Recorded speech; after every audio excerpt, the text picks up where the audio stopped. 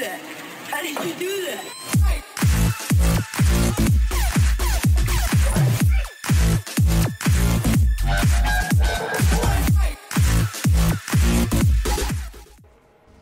Welcome back everyone to another episode of All About Mechanics. Now today I'm going to be showing you Blessed Crucible, obviously on Vet, and of course we're going to do the hard mode as well. Now I'll be using the same setup as before, one tank, one healer, one stamina DPS, and one magicka DPS, making sure that no roles are left, so it's a very, very balanced group across the board.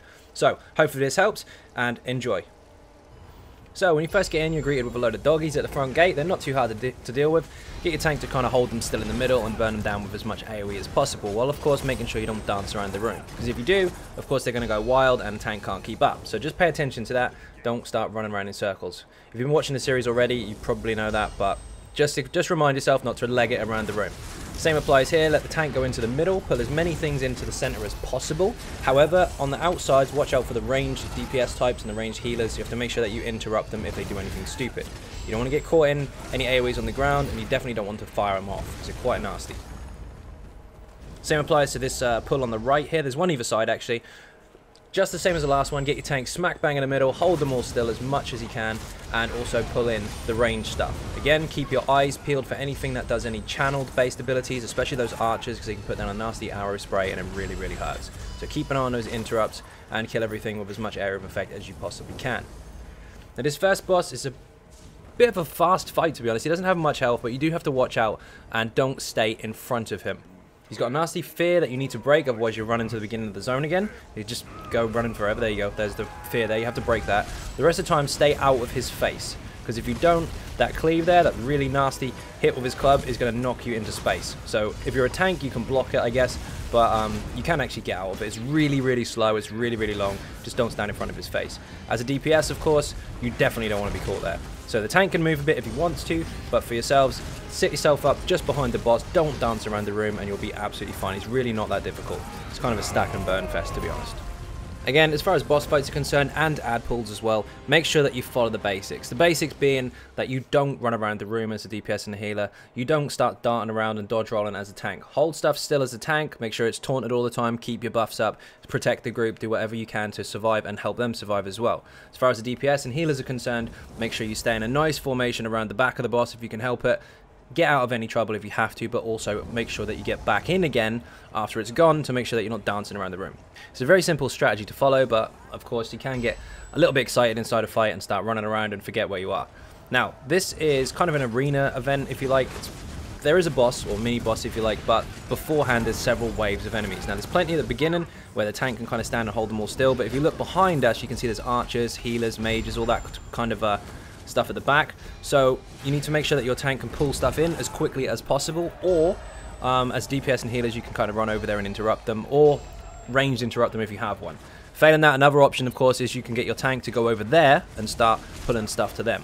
Whichever version of the two you decide is entirely up to you. It doesn't really matter. They're quite quick to get rid of. Just make sure that you hold them still at least and interrupt the bad stuff. Same as every single dungeon, there's going to be range stuff interrupted with uh, bashes or crushing shocks or whatever to prevent them from using arrow sprays and big burst AoEs and heals, all that kind of stuff. Just stay on top of it and you'll be fine. Next pull is pretty much the same. Again, get your tank in the middle, hold everything still as much as possible while applying taunts as and when you can. And in the meantime, make sure you pull in those range targets from the back there. Now there's a melee guy that just ran straight to us, that's absolutely fine, you can pick him up on the way. But the range ones, you really want to get them in quick because it does take a little time for you to run over and interrupt them, of course, unless you've got a range interrupt. But still, it's a lot, lot safer if you just keep them all clustered up and kind of just stay out of their face if you're a DPS or healer. Let the tank take the damage. You can see the four bosses up there. Now, of course, you're used to healers, you're used to ranged DPS as far as magic is concerned, you're used to melee, you're used to heavy attacks, all that kind of stuff. Block the heavy attacks, interrupt the nasty stuff. Now, the trick for the tank on this one is to kind of pin them all together. You can see there's a caster on the right there, there's a two-hander in the middle, there's a mage at the back as well. Get them all in together and hold them still. Area of effect damage should be more than sufficient to kill these all together. They're very um, low health individually. You don't need to necessarily focus one if you don't want to. And they can be chained and they can be stunned and all that good stuff. Just remember when they go low health, they do turn into werewolf and they start slapping with some really nasty uh, light attacks and jumps and stuns. So make sure again that your tank is on full form on this one. Taunt every single one of them. Keep hold of them as much as possible. If something goes wrong, and you are DPS or a healer and one of them starts attacking you, simply block until your tank has recovered or picked up the aggro again. Because if you run around the room, they are going to catch you and they are going to kill you. Above all, however, same stuff as before. Make sure if you're a DPS or a healer, you're behind the enemies rather than in their faces. If there's any interrupts needed, then make sure you do bash or interrupt, whichever you've got to hand. Usually the caster and the ranged um, healer will try and run away and cast stuff on the group. Just make sure that you keep your eye on them and interrupt them as and when you can. Melee stuff, tank should stay on top of it, but again, if you do get heavy attacked by that two-hander, you've got to block. Normally, um, if it's in a pug, you can see people running around in circles and it gets really, really messy. But when you get practiced at it um, and your tank is kind of on point, it's not too much of a difficult fight. It's only when stuff starts running around the room that it gets messy. Now, this area here, there are several pulls of massive groups of ads. They don't hit too hard unless, of course, you're a squishy and you get primary. So, key point on this one. Again, of course, make sure your tank is holding them in the middle and pulling everything in as much as possible while you do the interrupts if you need to. But again, like I said, the key point is to make sure that the tank always goes bloody fast. Don't go YOLOing ahead as a squishy with 16k health, get wrecked in one shot because everything aggroed you, and blame the tank or the healer. That's your fault. Make sure you hang back, let the tank go first, let him get control of the room, and then you won't be in too much trouble.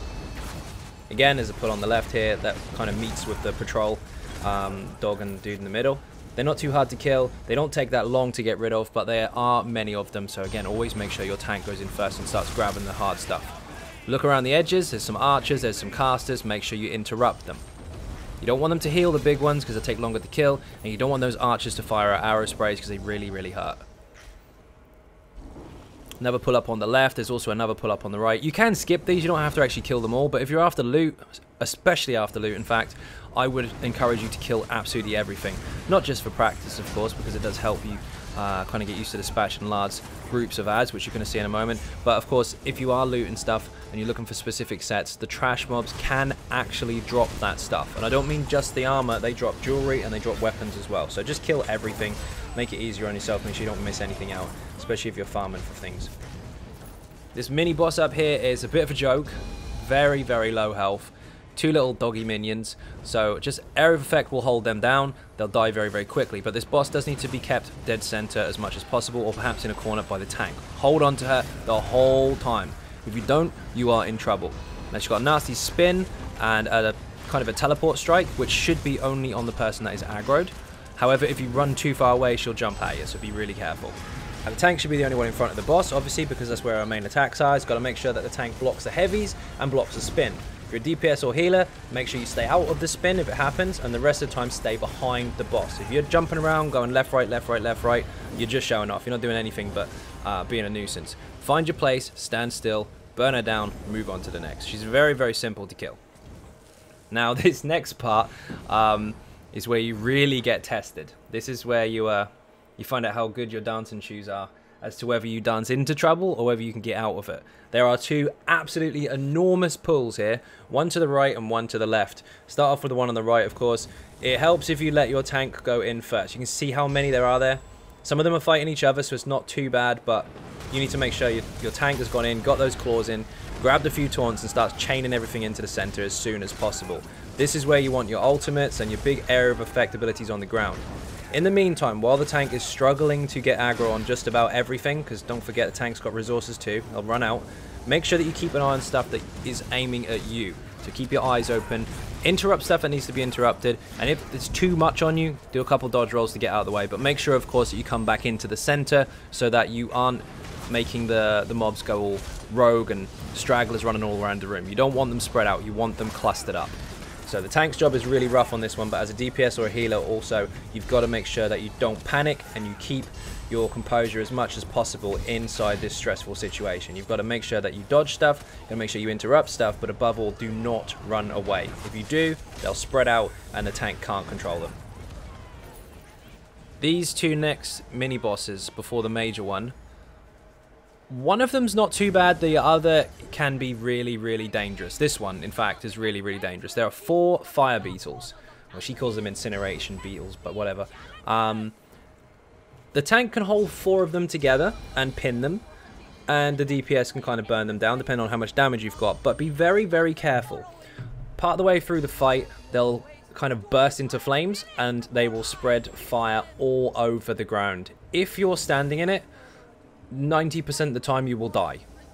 And then it doesn't matter if you're a vampire or not, you will still die. Fire is aggressive in this game, regardless of vampire or not. And if you get caught in stuff like that, you're in trouble. So you can see the tank is holding them all into position here. We're not running around the room because we don't bloody need to. You can see we've all got our feet. There's two DPS and a healer standing in one place. We've all got our own spaces. And you can just kill them in the middle. You see that fire spreading across the floor? That's what you need to stay out of. It is evil. Very, very strong indeed. You can nuke these with ultimates if you've got enough, or if you've got them ready after the last fight. If not, just watch your feet. They don't do too much damage in terms of uh, their melee attacks towards the tank, but if you are in the fire, you are dead. This next one is very, very simple. Bloody Great Giant Scorpion. Um, simply get your tank to taunt it, hold it still, and as melee and DPS, you either around the side of it or behind it. You don't need to dance around the room, just find your position and stay there. Unless one mechanic in particular happens. There is a heavy attack, by the way, the tank has to keep an eye on. When the scorpion jabs its tail into the ground, it will select a target and make poison appear under its feet. As you can see there, Bob and Weaven is getting peppered with poison. All you need to do is move out of the AoE and then get back to where you were once it's gone. Nothing else is a problem. Heavy attack is for the tank, so make sure you block it. Poison again when it jabs into the ground get out of the way. If you run around in circles forever, you're just going to die. There you go, see, Bob gets out of it. All gone. Pressure off. This boss here, if you are familiar with Sanctum Ophidia, you will know exactly how to fight this boss because mechanics are pretty much identical in terms of its uh, animations and abilities. I would highly recommend highlighting this target so it's got a big white aura around it so that you can uh, make sure that you never miss basically because his hitbox is kind of in his back foot which is a bit weird. Hold him still, stay close. If you spread out, he will jump at you. You can see there's two major mechanics in this fight. One is where he's violently bashing the ground repeatedly, which you have to block even if you're standing behind him, otherwise it'll still get you. Also, the other big, big circle, which is a single slam, you need to block that or get out of it. Whichever one of the two you do is up to you, but if you don't block during these mechanics or you don't get out of it, you are in trouble. However, the massive, massive slam, if you dodge roll out of it, make sure you get back in bloody quick, otherwise he is going to jump at you. And then that makes it really difficult. He jumps out of the darts, he does a nasty slam on whoever he decides to hit, and things get messy. If you hold him still, make sure the tank is in his face and everyone else is behind him, block those two slams, you will be fine. There is a heavy attack on the tank, but the tank should be able to see that, and of course, then there won't be any problems. I see a lot of people when they go up against that boss running around in circles and trying to get the troll off them. Little tip, the more you run, the more trouble you're in, because he will jump. He never jumps if you if you stay close together. This room has a couple of enemies in the middle, a big pull to the right and a big pull to the left. If your tank is confident and your group is capable, you can actually pull everything into the center of the room, but fail on that, just take it in two stages. Pin all these on the right first of all and pull in the patrol and enemies. Make sure you interrupt the range stuff, it's really nasty. And then simply go over to the other side, or you can get your tank to kind of pull them over once they start thinning out as far as numbers are concerned. Stay out of that big spray if you can't get an interrupt in, by the way, because otherwise it really, really hurts. The next room is a mini boss and he has quite a few ads but they're very very weak in terms of their overall health. They can be a problem though if you decide to run in YOLO on your own. So again always make sure the tank goes in first. If you're a squishy DPS who's a little bit too confident because you've been in Maelstrom one too many times um, you're gonna die. Where Stig is by the way there's a lore book right there just up the little stairs, so make sure you pick that up if you don't already have it. There was a bug before where you had to kill the last boss and then come back in and it would appear, but now it's actually in the right place, so you should be good. As you can see, there are a few enemies in this room alongside the main boss. Make sure the tank charges first, don't aggro anything if you are not the tank, because you will die. As you can see, the archer just went straight for me, both of them. If I went in before the tank, there's a chance that the two melees would have gone for me as well, and I would have died. Get your tank to pull everything into the middle, make sure that you hold the boss very, very still, and everybody else should be standing behind or beside the boss. Now, when he puts his staff in the air, he'll fire out a nasty fire circle onto the ground. If you're a tank, you should be fine. If you're a DPS or healer, make sure you step out of it. Also, he'll put his hand up for a little bit longer and he'll start having some purple animation kind of appear around it, like a purple particle effect. If that happens, interrupt him, and then he can't do it. Also, during the fight, he will put up a damage shield if you don't have a huge amount of damage. Just keep burning through his health, and you'll be absolutely fine. There'll be no problem at all. He's not that hard. He can hit hard if you stand in fire. But that's your own fault. Don't stand in fire. Now this boss is where every pug fails. You need to be very, very careful with this boss. She has several mechanics that you must follow, otherwise you are dead. She's got one mechanic that I call the wheel. And I call it that because when she makes this effect happen, it looks like the uh, the spokes of like a wagon wheel from above, if it's a bird's eye view, for example. Now, the tank should hold her very central if possible. Do not stand in any lava, even that stuff that doesn't look like it's anything other than scenery in the middle, it will kill you. Also, every so often she will spawn flame atronachs, which will attach a beam to her. When that happens, you have to kill the atronach, otherwise you can't hurt her. So make sure that you focus those. Now, she'll have a heavy attack, which really, really hurts, and then occasionally she'll stab her sword into the ground and do what I call the wheel effect, which is this, all the spokes coming out from the center. If any of those touch you, you're going to die. They are very, very strong. Vampire or not, you're dead. So what you need to do is make sure, as you can see, we're in a, like a triangle formation. Myself, Christina, and Bob are in our own spots, and we're not really moving. We're just staying with the boss as much as possible.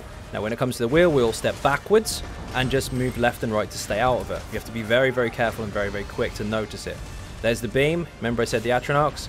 Kill the Atronach, and then she can be hurt. If you don't kill the Atros, she is immune.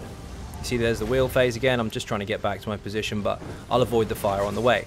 Occasionally, she will throw a nasty fire light attack at one of the DPS or the healer, usually if someone's too far away as well. But as long as your healer's on point, you shouldn't really die or have a problem with it. However, your tank must be on point with the taunts all the time. Don't drop those taunts. If a DPS gets hit with that heavy attack and they're not blocking, they are toast. Now, the lower her health goes down every phase, the, the more Atronachs you will receive up to a maximum I believe, three. There's two more now, so you have to make sure that you get those down. I know it's quite uh, stressful on your resources, but you have to make sure that you run over there, get them down, and then try and sustain it along the way. Now you'll notice that she did the wheel mechanic while I went running over there. Spin your camera a little bit sometimes to make sure you can keep an eye on what she's doing, or at least have some kind of communication with your group so that you know when the wheel is coming. And when it is, especially if you're long distance, just kind of turn around, have a look for it, and you can avoid it quite easily. It's not too bad. You'll also notice that throughout the whole fight there's lots and lots of AoEs landing from around the edge of the arena. That is actually uh, lava rocks and stuff firing out of the lava and if you do stand in it it's going to hurt. So just be very very careful to avoid those while you're killing the Atronachs as well. You see I dodge rolled out of it there because otherwise I'd be toast. But you have to be really really careful. Um, now once the Atronachs are gone, that one's got stuck in a wall, perfect. It's just a burn fest. Same as before, keep hitting her, block the heavy attack, get out the wheel, and it just repeat, repeat, repeat. Again, don't dance around the room. Go and kill the Atronachs, of course, but don't dance around the room in circles. You'll see for the majority of the fight just then, we were kind of all in our own place. And, as yeah, no death, no death run as well. Perfect on camera. okay, so hopefully that helped. Hopefully that wasn't too boring, and hopefully you now have a better understanding of how to approach that dungeon, especially the vet hard mode side of it, because that is quite rough. Now, there's two more dungeons in this part of the series to go before we get onto the version 2 dungeons, and then there's going to be 8 of those before DLCs, so we're closing in quite quickly plenty more stuff to come. So, first of all, thank you all very, very much for watching. I hugely appreciate the support. And if you're not subscribing, please do hit that button. It is free. Also, leave a like on the way out if you liked the video. Furthermore, if you'd like to support the channel outside of YouTube, there are some links in the description for Patreon, for Twitter, for Facebook, and of course the website XynodeGaming.com and Twitch. I am on Twitch now as well. I'm going to be streaming on both platforms from time to time, depending on what's going on. ZOS have made a new program now where they basically allow certain streamers to uh, present Twitch drops in the form of free crown crates to people that are watching the stream.